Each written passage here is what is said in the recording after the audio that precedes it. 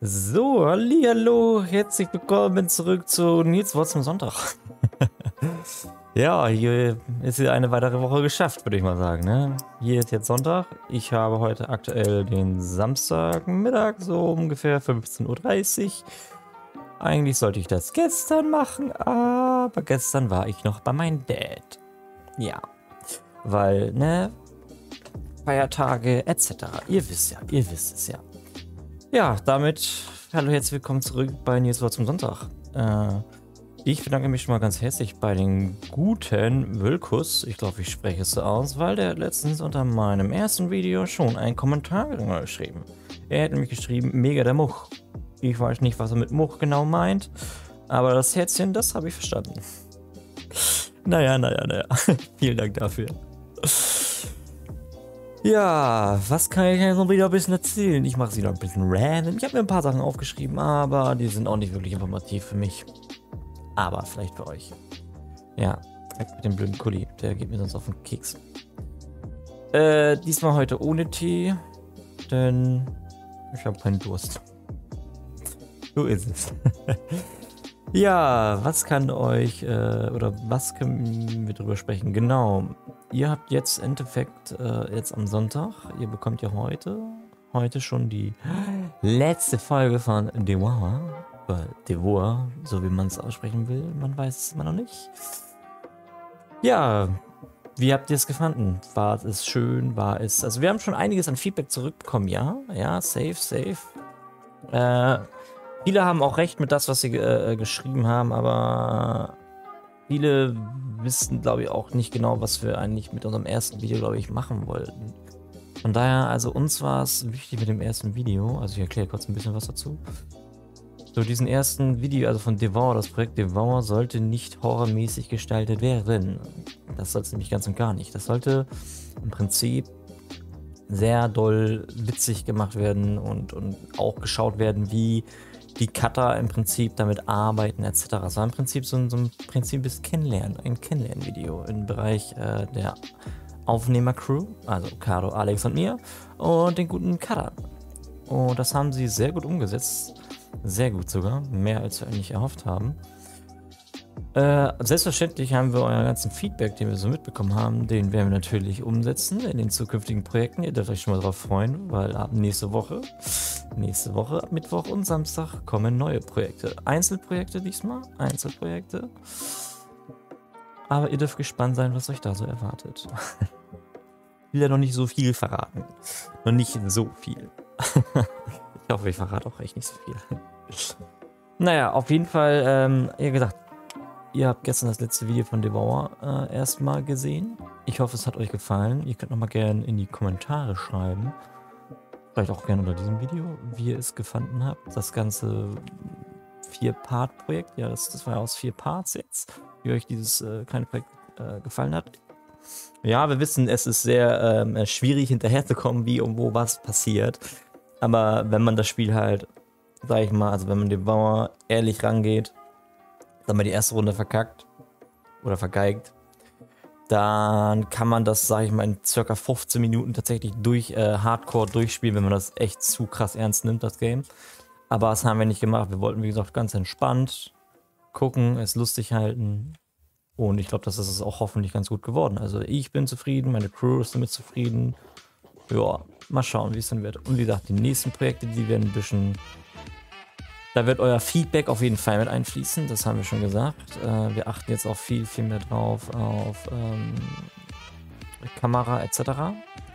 Deswegen sollte, glaube ich, die von Qualität, glaube ich, äh, heute nächstes Wort von Sonntag ein bisschen besser sein als letztes Mal.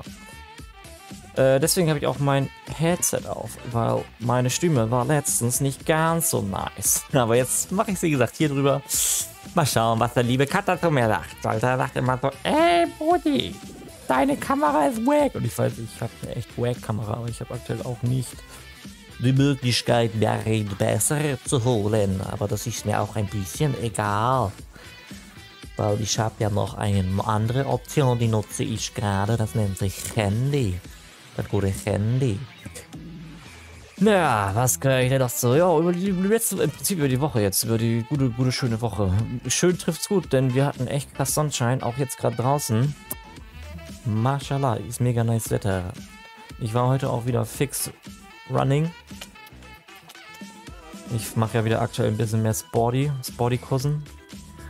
Und das war echt geil. Es war noch ein bisschen fresh. Heute, ich würde sagen, heute Samstag war noch ein bisschen fresh, aber das Wetter war geil. Hat, hat, hat mir gefallen ich glaube, seit Dienstag oder so. Dienstag, Mittwoch war geiles Wetter. Also Montag, oh, hm, nee. Dienstag, Mittwoch war nice. Donnerstag wieder so, hm, nee. Freitag so gestern so, ja, so nicht, nicht schön, aber auch nicht schlecht. Also so, so, eine, so ein Mischmasch. Und heute ist wieder so, Sonne, Sonne ist da. Auf jeden Fall, Sonne ist da. Schönes Aprilwetter. Frohe April. Ich wünsche euch allen äh, äh, die frohe Ostern und so. Ne? ist ja, äh, ist ja jetzt. Äh, die guten Feiertage, langes Wochenende genießen etc. Ich genieße meins auch in vollen Zügen, denn ich habe wieder viel zu viel geschlafen. Yay. oh Mann, ey. Der Apfel fällt nicht weit vom Stamm, sag ich da nur. Ja, was kann ich denn euch noch erzählen? Ich hatte diese Woche eine kurze Woche, also vier Tage Woche, was ich, ich hatte Fortbildung. Ich habe meine Fortbildung. Ich bin noch in der Ausbildung im Bereich äh, Mechatroniker im Bereich Kältetechnik, sag ich mal. Wenn ihr nicht wisst, was es ist, geht's gerne googeln. Aber um es kurz knapp zu erhalten, ich kümmere mich um Klimaanlagen, Lüftungsanlagen, Kälteanlagen etc. Aufbau, Abbau, Service, und so weiter und so fort. So, und wir hatten unseren allerersten Elektrokurs. Äh, unser aller Elektrokurs. Und der war richtig, äh, richtig cool, weil unser ähm, äh, Ausbilder, sag ich mal, unser, unser, unser, unsere Lehrkraft, die wir da hatten, das war jemand, der hat schon viel Erfahrung gehabt, weil der aus der Bundeswehr kommt. Der war auch schon zweimal, soweit ich verstanden habe, in Afghanistan. Ja. Und ich konnte es nicht lassen, ihn ein bisschen auszuquetschen. Und es war sehr, sehr, sehr, sehr informativ. Also richtig nicer Dude. Das hat echt Spaß gemacht mit ihm, auch der Unterricht allgemein. Auch wie er alles erklärt hat, etc. war top, muss ich sagen. War echt, war echt geil gemacht. Und ich habe einiges mit ihnen äh, besprechen können und äh, an, an, an, coolen Stuff hören können, wie es halt da so abgeht, auch in der Bundeswehr, auch wie es in Afghanistan abgeht oder auch äh, in, in Tschechi Tschechien Republik, sagt man das glaube ich so, ich weiß es nicht, ich bin nicht so da so, äh, bin da nicht so da so krass angehaucht, was das betrifft. Auf jeden Fall in diesem ganzen Umkreis etc., da, wo, da war er und hat, hat einiges dazu erzählt, wie es da so abläuft, was so da im Prinzip sein Alltag war wie gesagt, der, er war auch Elektrotechniker, auch im Bereich Kältetechnik. Hat aber noch viel, viel Stuff mehr gelernt. Also Hut ab, dass er alles schon gemacht hat. War auf jeden Fall ziemlich geil, mit ihm zu schnacken. Ja, wie ist der Le Le Lehrkurs sonst gelaufen? Falls es mich interessiert, ganz gut. Der, der, der war ganz entspannt, ganz entspannt. Wir haben ein paar Schaltungen an die Wand geklatscht. Natürlich auf äh, Sauberkeit etc. geachtet, dann hier ein bisschen darüber was gelernt. Und wie ich abgeschlossen habe, könnte ich auch erzählen, aber dann muss ich den Schreber wieder raushängen, weil ich habe überall eine Eins.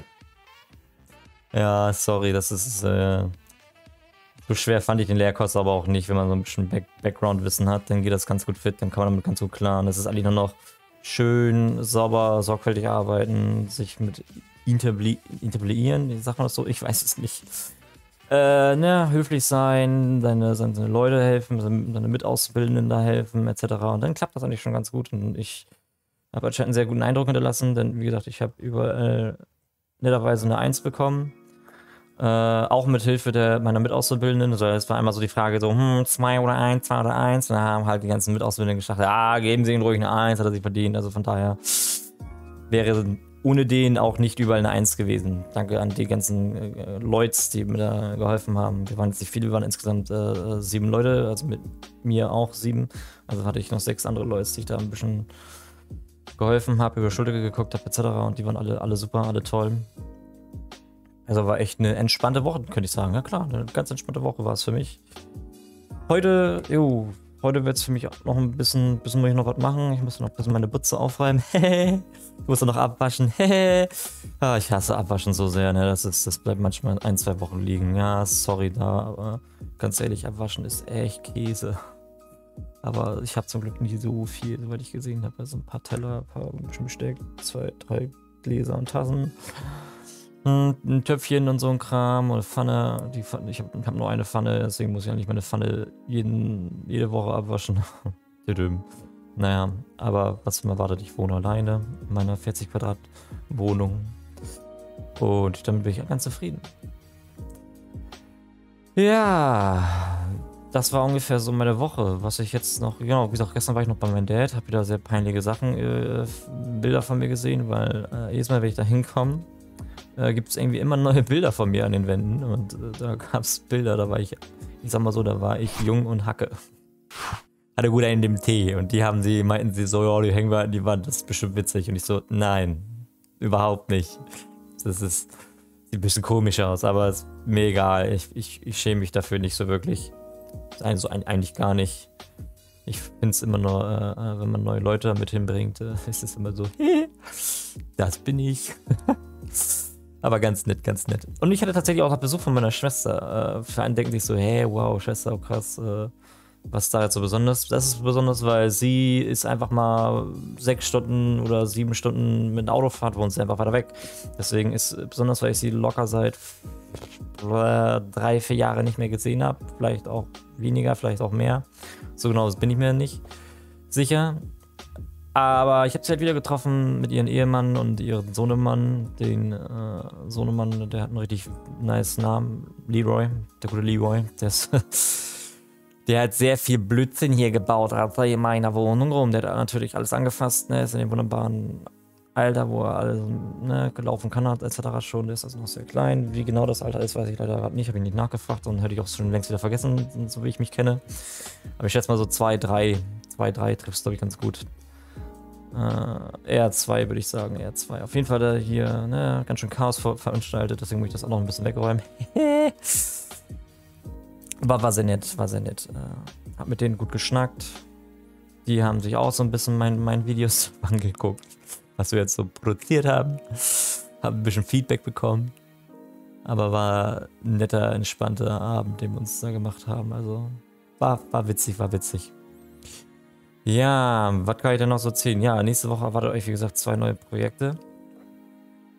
Äh, weil Devour geht jetzt erstmal ins, ins, ins, äh, in die Haltestation, weil wir haben schon gehört, es gibt da bald ein neues Update mit einer neuen Map und so.